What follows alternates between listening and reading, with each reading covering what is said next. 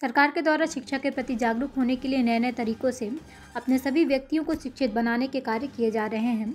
वहीं भोज विश्वविद्यालय के अनुसार कम पैसों में शासकीय कॉलेज के भोज विश्वविद्यालय की शिक्षा के तहत सभी बच्चों को एडमिशन दिए जा रहे हैं। लगातार पूर्व में भी इसके प्रचार प्रसार किए जा रहे हैं। एवं शासकीय महाविद्यालय राजपुर के सभी कर्मचारी और शिक्षक, प्रोफेसर मिलकर इसको लगातार प्रचार प्रसार कर प्राइवेट स्कूलों में जाकर इसका प्रचार प्रसार कर रहे हैं। वहीं सभी से निवेदन कर रहे हैं कि ज़्यादा से ज़्यादा लोग एडमिशन लेकर पढ़ाई लिखाई कर ध्यान दें एवं शिक्षित बने। इसमें प्रोफेसर ठाकुर सर एवं कुमारी निधि एवं सरकारी शासकीय महाविद्यालय के शिक्षक की टीम सभी के द्वारा जाकर निवेदन किया जा रहा है। राजपुर से जितेंद्र यादव की रिपोर्ट।